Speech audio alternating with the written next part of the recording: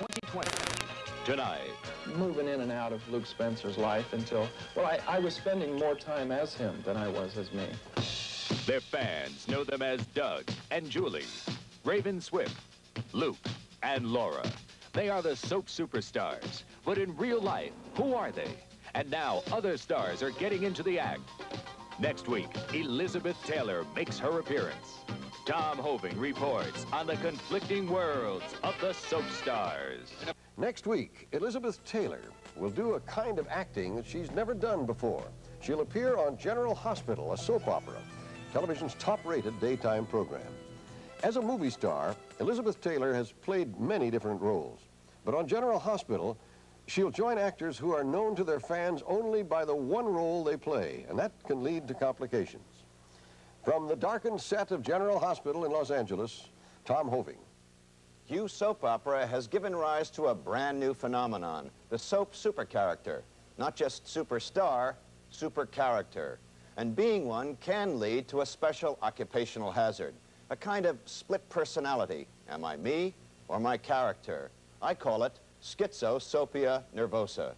Right now, Luke Spencer of General Hospital is the hottest super character in daytime, and his actor Tony Geary has a real case.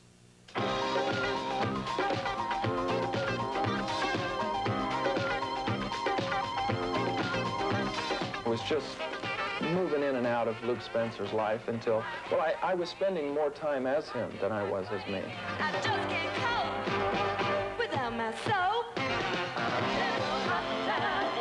One in 15 Americans watches General Hospital every day. It's the highest rated soap in the history of television. They tune in to see soap's hottest super characters, the passionate duo Luke and Laura, played by Tony Geary and Genie Francis. General Hospital generally takes place in a hospital, but today's action isn't always covered by Blue Cross. General Hospital, show number 165. Take one. Tony Geary and Genie Francis spend more waking hours in their soap lives than their real ones. 12 hours a day, five days a week, 52 weeks a year. An actor's soap life can easily eclipse his own. I was relating to people, uh, people that I have known for, for years. Uh, suddenly I couldn't talk to them because they were, I don't know, they just weren't as exciting as uh, Bobby and Ruby and Laura. I was a murderess, and then I had a mental block, and I was Looney Tunes, and then I was happily married, and then I was raped, you know. There was a year there, I swear, a year and a half, where I came to work, and every day I cried. That's the danger in soap operas, is actors who really uh, get so involved with the role, if they can't let it go, it becomes, uh, it dictates their lives almost. And I learned that. I learned that quite young. You know, I've been here since I was 14. While her character suffered a traumatized adolescence, Genie, a tutored child star, never even had to cope with high school. Luke is also a contrast to Tony Geary. Luke's a street-smart disco king, outwardly tough but tender inside, a classic anti-hero. Oh, good evening, ladies. Do you know I love this woman? I bring to Luke Spencer his sensitivity, his romance, his humor, and his vulnerability. And he brings to my life aggression, ambition, ruthlessness, and uh, my personality and his have kind of molded together. And there are times when uh, I have to step way back and say, wait a minute, that's, that isn't me. Tony Geary is used to playing second fiddle to Luke. When he meets his public, he goes as Luke. It's Luke the fans know, Luke they come to see. First of all, I get real crazy. I do my impression of Luke Spencer doing Mick Jagger. I get real nuts, and then I'm invariably afterwards, I'm depressed. I think, what have I done? But that's the only way that I know how to handle that stuff, because I think those people deserve a show. It's not just a matter of what the fans deserve, it's what they demand. At this New Jersey soap star gathering, one of 300 last year, fans come to meet characters, not actors, characters they feel they know as friends.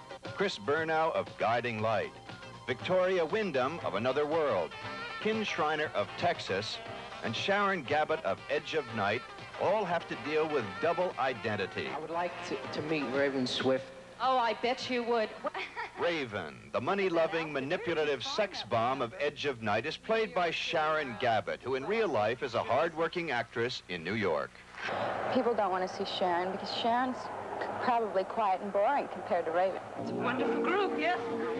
Yes. All except for two. I, do I detect someone becoming raven again? Okay. Raven is this, you know, this fantasy creature that everyone wants to see and meet. So Sharon. I put on a racy outfit and, uh, you know, I, I, talk about wanting money and, and all the men in my life, and people see Raven, and that's what they want. They become involved with the characters, and they're just an extension of their own families. Go I mean, get If you saw a long-lost relative, what would your first reaction be? Rush over and grab him and hug him. It's so day-to-day, and they feel as though it's real life. We're so overwhelmingly identified with our material and our characters.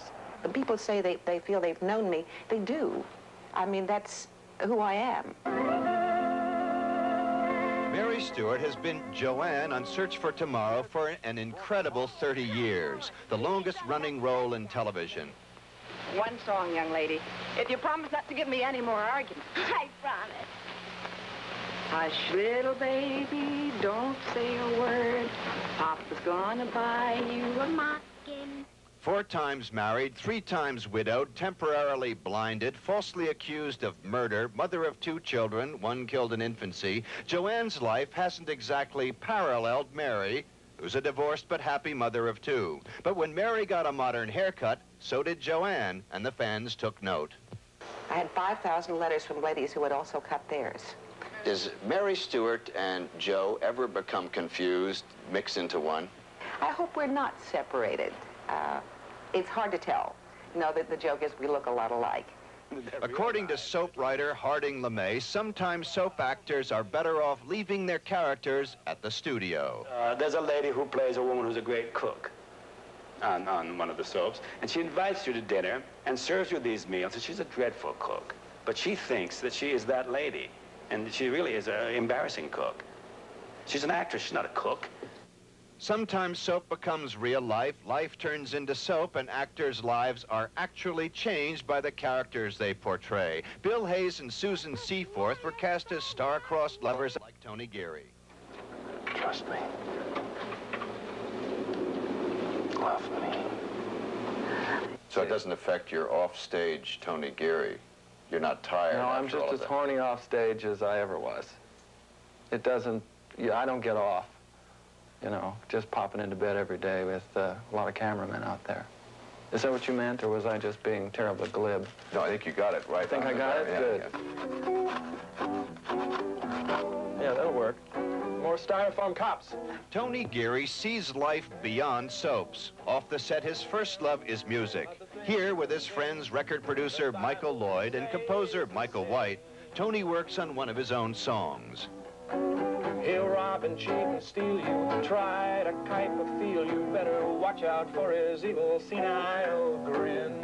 Very aggressive. Tony is also writing a screenplay and working on a stand-up comedy act, all to build immunity against a serious complication of schizosopia nervosa, typecasting.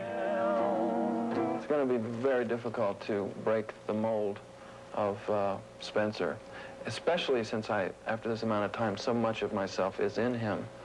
I don't think it's healthy for me as a person or as an actor. I would much rather, you know, wash the makeup off, hang up the costume, and leave him there.